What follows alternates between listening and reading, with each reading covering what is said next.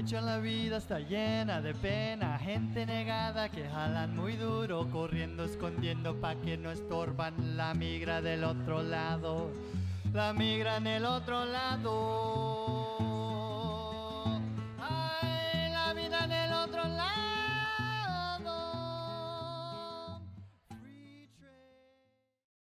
Bueno, eh, pues eh, eh, viviendo, viviendo en la vecindad con Estados Unidos, la mayoría de los mexicanos nos, nos han educado, nos hemos educado en, en una especie de odio hacia los gringos. Eh, tenemos pues mucho por qué odiarlos, pero no deberíamos de hacer eso. Deberíamos de odiar únicamente al, al gobierno de Estados Unidos, que es el que nos ha perjudicado más, pero pues así, así, así somos los seres humanos. Entonces, de, de pronto, hace 45 años me di cuenta de que no todos los gringos eran como los, los de nuestras pesadillas, que, que había, había gringos buenos, que había gringos que se interesaban por nuestros países, no únicamente para explotarlos, sino para conocerlos. Y, y me enteré de la existencia de NACLA.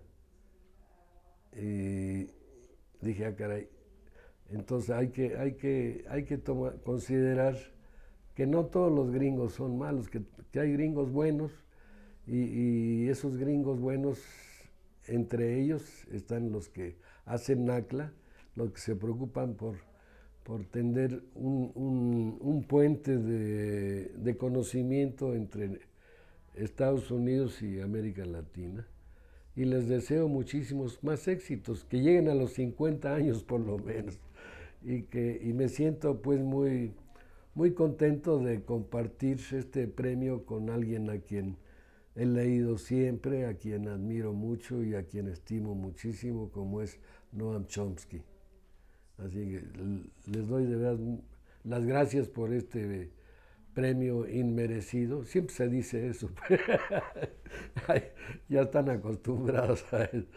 Pero pues eh, eh, eh, espero, espero que, que sigan haciendo este bellísimo trabajo para que, que algún día podamos platicar, dialogar con, con nuestros vecinos. Ese sería el, el ideal pues de, de nosotros, poder eh, algún día tener una plática amistosa. Nunca lo hemos hecho con Estados Unidos. Ojalá que algún día se dé esto y que en parte se lo agradezcamos a NACLA. Muchas gracias.